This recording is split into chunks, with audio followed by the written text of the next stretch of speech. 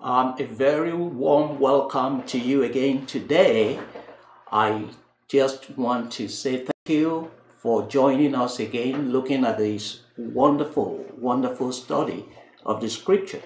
Uh, we're looking at the life of a man who we can say godly and deeply loves the Lord. I mean, for those of you who are wondering, Pastor, you've been looking at men all this while.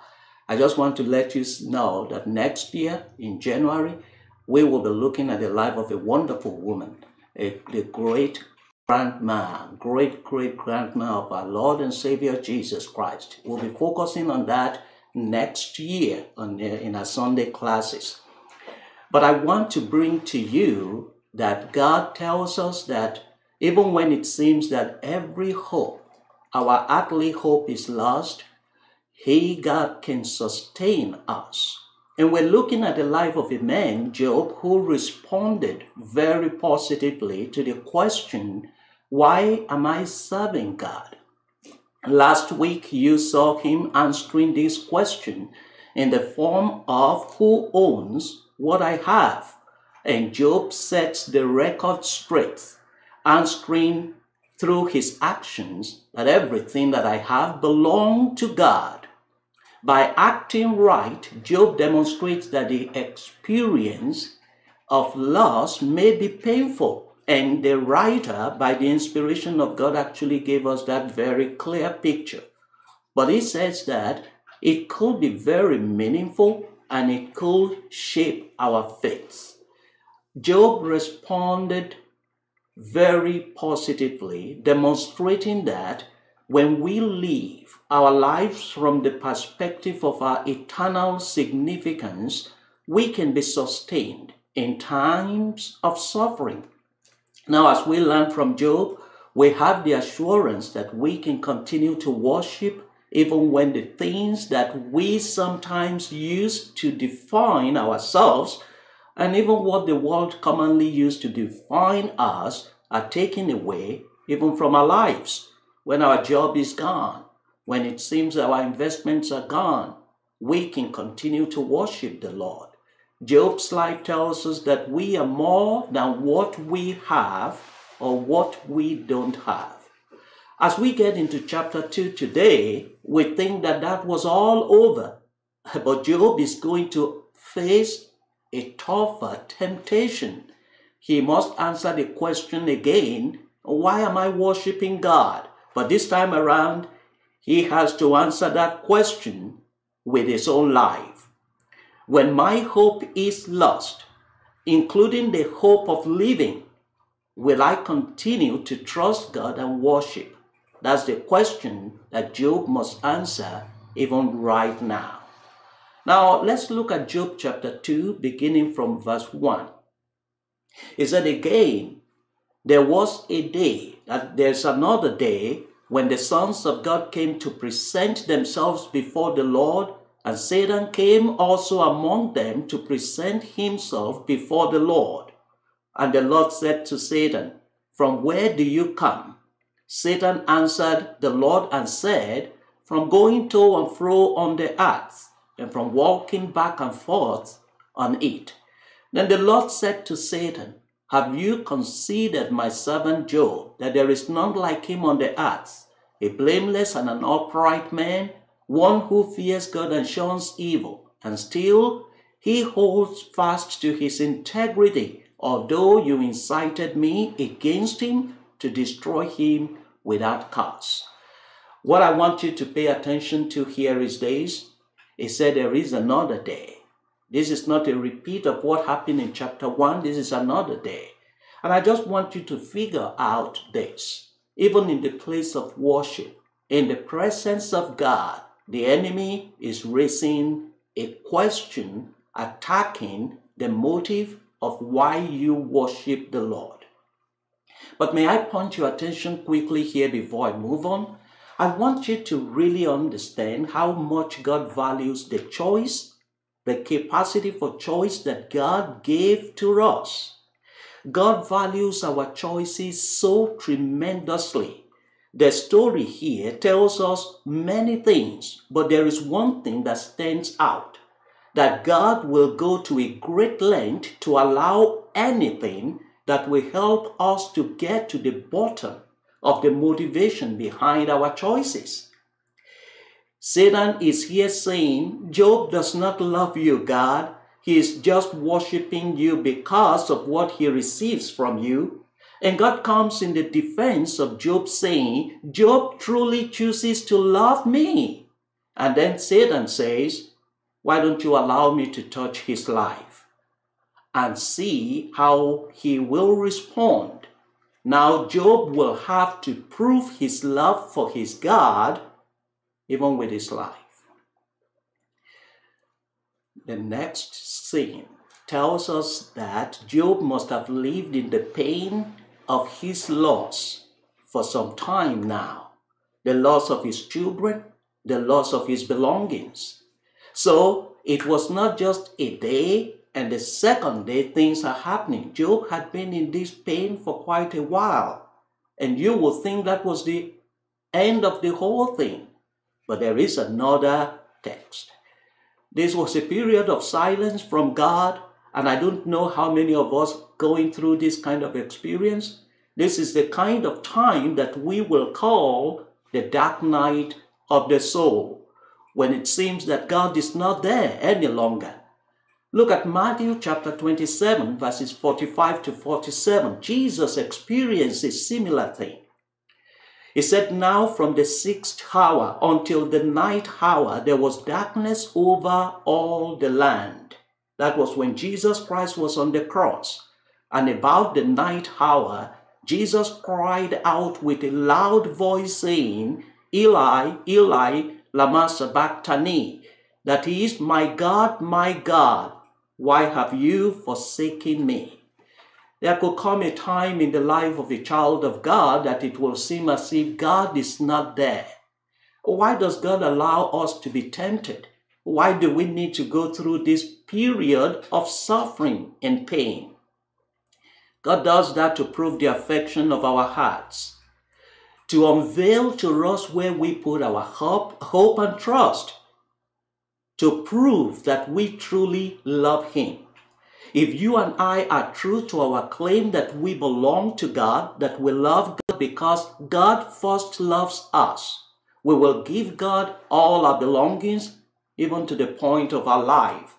Because God gave us His Son and because He first loves us. God values our creation. We are created to make choices. And we must, through our choices, demonstrate that we are living for the reason we are created, namely to worship God.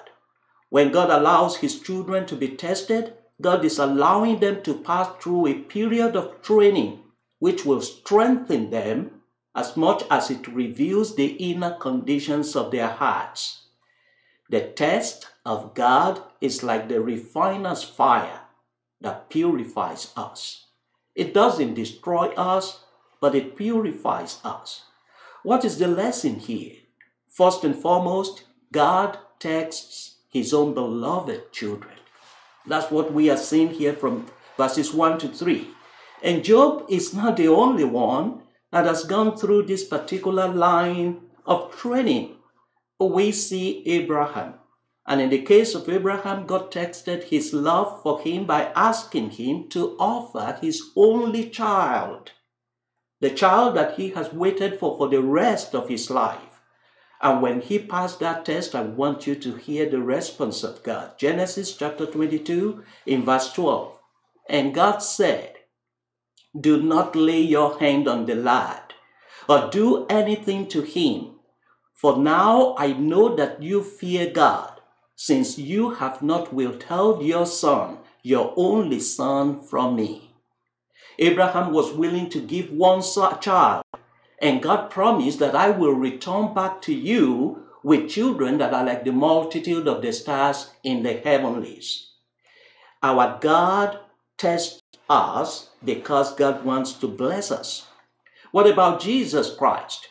God allows Satan to test him in three important ways. Number one, he said, use your divine gifts for your self seeking ambition. Number two, he said, use your divine gifts to pursue fame and popularity in the world. And number three, he said, abandon true worship and worship me, Satan says. How did Jesus Christ respond? Matthew chapter 4, verse 11. He said, God is the only one that is worthy of worship. Get thee behind me, Satan. And look at what uh, verse 11 says. Then the devil left him, and behold, angels came and ministered to him. Temptation is God's training ground to develop his own beloved people. Look at what God says in Zechariah chapter 13, verse 9. I will bring the one third through the fire, will refine them as silver is refined, and test them as gold is tested. They will call on my name, and I will answer them. I will say, This is my people, and each one will say, The Lord is my God. I will test them like gold, but I will purify them, God says. Look at 1 Peter chapter 1, verses 6 to 7. He said, In these you greatly rejoice. I believe you still remember that. He said, Though now for a little while, if need be, you have been grieved by various trials, that the genuineness of your faith, being much more precious than gold that perishes, though it is tested by fire, may be found to praise, honor, and glory at the revelation of Jesus Christ. And in Isaiah chapter 48, verse 10, Behold, I have refined you, but not as silver. I have tested you in the furnace of affliction. God tests his own beloved children. And I don't know what your test may be now. I don't know what you are going through. But there is one thing here the scripture is saying that God is proving the motivation of your heart. And it's because God is really planning to bring the best out of you. As some of us, we run away when we go through trials and through tests. But there is one thing you will notice about this man Job as we get into a clearer part of his life. He ran to the Lord. Look at chapter 2, verse 4. Satan answered the Lord and said, Skin for skin. Yes, all that a man has will he give for his life. But stretch out your hand now and touch his bone and his flesh, and he will surely curse you to your face. And the Lord said to Satan, Behold, he is in your hand, but spare his life. So Satan went out from the presence of the Lord and struck Job with painful boils from the sole of his foot to the crown of his head. And he took for himself a potsherd with which to scrape himself while he sat in the midst of the ashes. Then his wife said to him, Do you still hold fast to your integrity? Curse God and die. But he said to her, You speak as one of the foolish women speaks.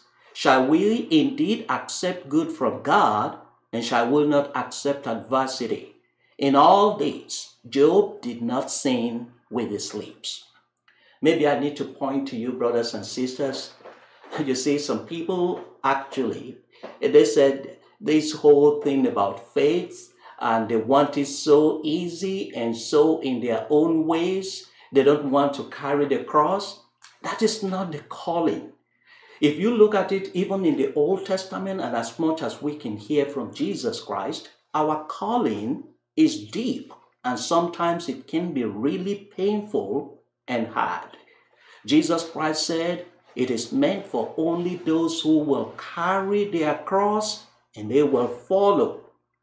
Now, here is what we are taking away from this man again. He is going to face death, but will his hope of eternal life carry him through? Satan said, Lord, skin for skin. All that a man has will he give for his life. Let me phrase this to you in a way that will be clearer he said, A person If he or she has to offer someone else's life for his or her own life, will do so. When he has no choice, when she has no choice. But you can only know the motive of the person if the person is faced with a choice of offering his or her own life. Satan is telling God and say, you can tell the truth of Job's devotion because he's lost his children, he's lost his devotion. But the only time you will be able to test is let him also offer his life for it. He afflicted Job with a skin disease. Job was struck with a rare skin disease that scientists today try to understand, and they call it hyperimmunoglobulin E syndrome. I believe that, that that will be pronounced better by the experts. But this is uh, expected, is um, explained to be something like a repeated bacterial infection, infections of the skin and lungs. And this temptation will have appeared, and actually, it is a life threatening kind of condition, particularly in a time when medical knowledge has no, not really been expanded to what we know today. It was as if everything was over. This became so much overwhelming for Job, and this time around, a man faces his own trial and the test of faith with his own life. As if that was not enough, Job's wife came into this scripture, it, it, it came into the story asking Job, Do you still hold fast to your integrity? Should she have stopped here, this would have been a probing question.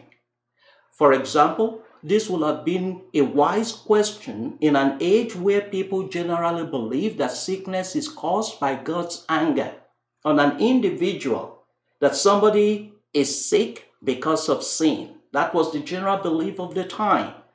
The wisdom here could have been to Job to search his heart and probably repent. Maybe the Lord is going to have mercy on him.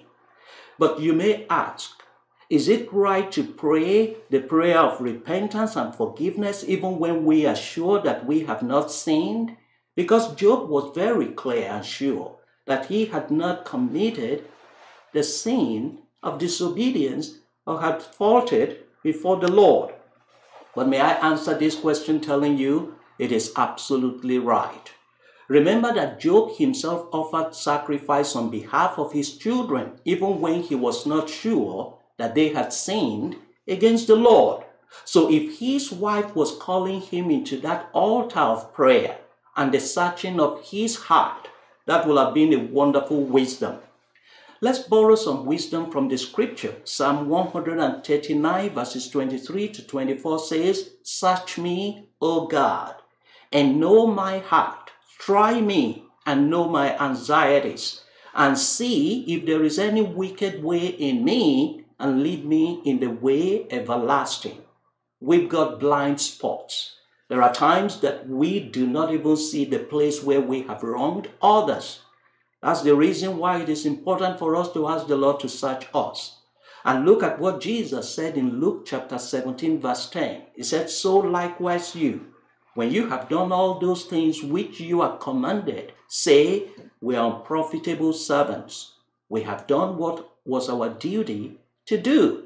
This is a way of saying we don't really prove we are very holy, the more righteous, the most righteous, the most acclaimed individual. Rather, we come in that position of humility. Now, may I address some who will always see women as the problem here?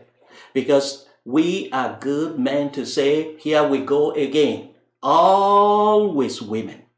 I want you to remember that the Bible records more instances of men's disobedience than women's disobedience in the scripture.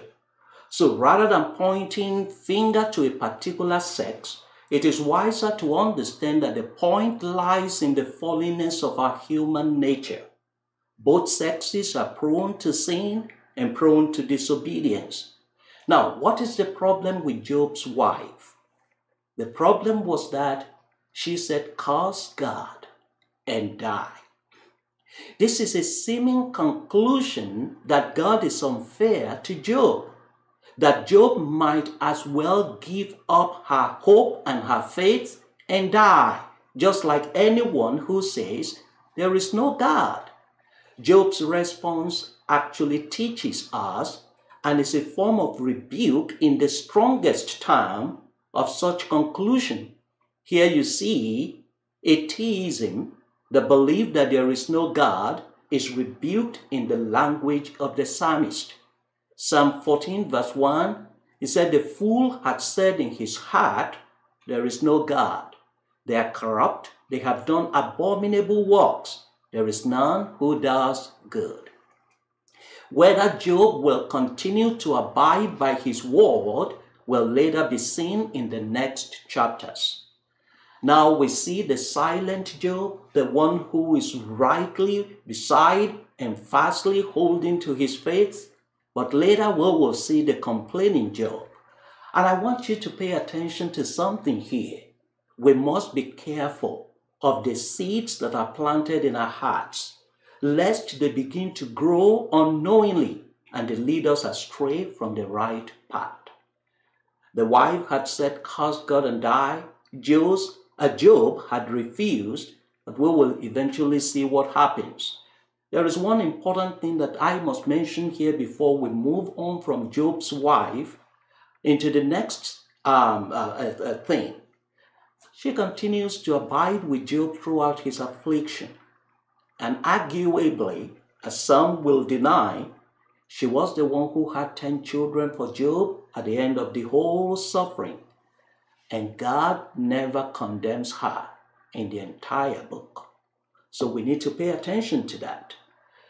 Here we have the frustration of a woman or the frustration of a man, and they said something.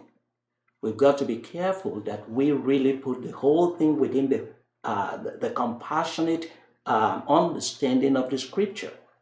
Now, Job's response says, Shall will indeed accept good from God, and shall will not accept adversity. The Bible says, In all this, Job did not sin with his lips. That's the conclusion of the scripture here. Does Job sin with his heart?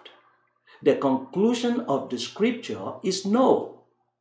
Job exhibited the character of any suffering saint. But the scripture concludes that his heart is in the right place. This is the point. God knows our hearts when we suffer, and there are some times that both our feelings and emotions will betray what we believe to be right sometimes. But again, God knows us so deep. But God allows us to remain within that very, I mean, uh, um, experience of our suffering. And many of us actually responded in different ways. Suffering is not easy. Pain is really hard. And most of us are going through the experience of one loss or the other. It's very hard and a difficult place to be. But the hope of our eternal life and the understanding of God's love that is very deep, even to the point that He will give everything, including His own life for us, can carry us through when we suffer. Look at Job 42, verse 7. And so it was after the Lord had spoken these words to Job that the Lord said to Eliphaz and Temanite, uh, the Temanite, My wrath is aroused against you and your two friends for you have not spoken of me what is right, as my servant Job has. God says Job spoke the right thing. And we will see eventually many things that Job said. And I tell you, some people don't even want to get into this scripture because Job said a lot of things, even against God. As we move on, I want you to look at verses 11 to 13. Now we are looking at the friends of Job. When Job's three friends heard of all his adversity that had come upon him, each one came from his own place. Eliphaz the Temanite, Bildad the Shuhite, and Zophar the Naamathite.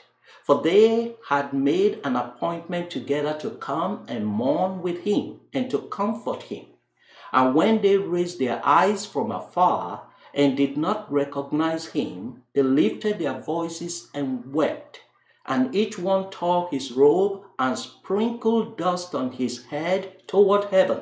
So they sat down with him on the ground seven days and seven nights, and no one spoke a word to him, for they saw that his grief was very great. Now, can I point you to the power of money during suffering? And I want us to take all the good things away from this because it is very helpful for us, even both for ourselves and for our friends and family. It is good to grieve with a friend, to mourn with a friend. So they came from a far away places, and they came when they heard of the misfortune of Job. Mourning with others is a great way to share in their suffering. It is commonly done in the, in the tradition that we are studying in those days for the dead. And uh, there are cases, however, when people will mourn for the living. So the case of Job is an example. And uh, David mourned for Absalom. He mourned for the nation of Israel when Saul was killed and when the nation was defeated. So we could even mourn for the loss of something that is dear to our hearts. Mourning or grieving in the Jewish tra- uh, tradition is done with the hope of helping the victim to process his or her grief and be healed in the hope of his eternal or her eternal life and the power of God to restore what has been taken away from them. This tradition is the faith tradition, believing that we have a transition into the eternal part of our life. Excessive mourning is discouraged because it questions our hope. And having said this, I want us to note that different people will have different journeys in their mourning experiences. And it will, it will take different people different timing in uh, our mourning. Mourning our loved ones is a very, very important process. It is encouraged in the scripture and it is very important for our healing. When we mourn, we are engaging in a great practice that will help us to say goodbye and release the beloved into the hand of God. Mourning prepares us to face the next right direction after our loss. Mourning gives us a healthy space in our hearts to face life and subsequent losses. We live in a world that is broken so we're going to experience some more. When we mourn, we are ready by the grace of God and by the power of God to face the next morning. Mourning builds us and prepares us to help others who will experience a similar fate. Can I tell you something, brothers and sisters? Many young people today don't want to mourn. In fact, some of us don't have the time because of work commitment we really want to move on very quickly and forget about what has happened, that is not healthy. Mourning helps us to grow healthy and it prepares our heart to be in the right place. Look at these friends. They wept with Job. This is a compassionate response to the suffering of a friend, a brother. It symbolizes the believer's act of coming alongside one another, either during grief or happiness. Jesus wept in John chapter 11, verses 35 to 36. And look at how the scripture puts it beautifully. Jesus wept. Then the Jews said, See how he loved him. Weeping unveils the tenderness of our hearts. Weeping unveils compassion in the heart. And weeping unveils sorrow in the heart. And it, sometimes it could unveil the joy in our hearts too. But I want you to realize this. When we experience the coming alongside by our friends and fellow believers, we know that we are not alone. But not only that, we also know that God is there with us when we suffer. In Psalm chapter 51, verse 17, the Bible tells us the sacrifices of God are a broken spirit, a broken and a contrite heart. These, O God, you will not despise. Brokenness of the heart, God doesn't take away his eyes from them. People mourn in different ways. So not everyone will respond in the same way. And I tell you, there are differences in cultural expressions too. We need to be very careful even as we discern how our friends are mourning. Now, can I point your attention to this before we end? And I want you to judge this yourself. You won't be able to answer that question now, but eventually, with time, as we look deeper, you may be able to answer the question. Do Job's friend came to empathize with him or they came to sympathize with him? Look at the way the scripture puts it. They tore their robes and sprinkled dust on their heads toward heaven. In the most practical way, this is identifying themselves with Job's situation. It is a symbolism that suggests humility these actions depicts their affirmation that they are made from the dust of the earth, and it also signifies acts of repentance and a cry for mercy. But whether eventually it's going to be a kind of pointing fingers, we're going to see. They symbolizes identification with Job, They're calling for repentance, and they're crying for mercy. What eventually is this going to become? We will be able to answer that question later. But Psalm 103, verses 13 to 14 says, As a father pities his children, so the Lord pities those who fear him. For he knows our frame. He remembers that we are dust. So their action here is a symbolism of their understanding that they are frail and they are weak and they are calling upon God for mercy. What is the distinction between empathy and sympathy?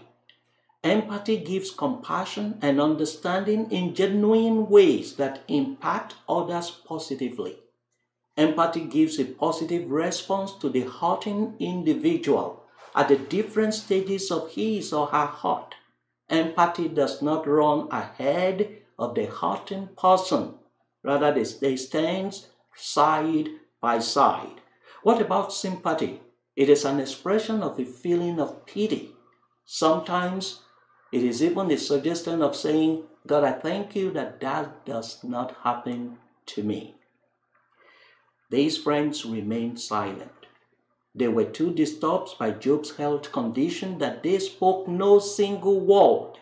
Oh, that is golden. If that was the only thing they did, maybe that would have been fantastic.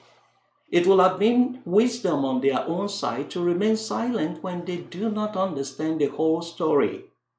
The worst thing we can do is pretend that we know why someone else is going through suffering and we judge them. When we do that, sometimes we can put ourselves in the position of God. Brothers and sisters, there is a lot of suffering in our world today. And there are many people who are going through it right now. There is no small suffering, there is no big suffering. It affects different people in different ways. And this is why I want you to look into the questions that we have this week. And let's talk about some of these things that we are looking at. The main question is this Why are we worshiping God? If our possessions are taken away, are we going to continue to worship the Lord? What about when our lives are right in the state? Are we going to continue to worship the Lord? And how can we help someone who is going through even a difficult time now? I want us to end by praying. And I ask you to please close your eyes and bow your head with me. Heavenly Father, we so thank you. One way or the other, we must show whether you are the prior and the most important God in our lives. We worship because you love us. I pray for those who are going through experiences of suffering. And I pray for those who are asking questions. Why am I going through this?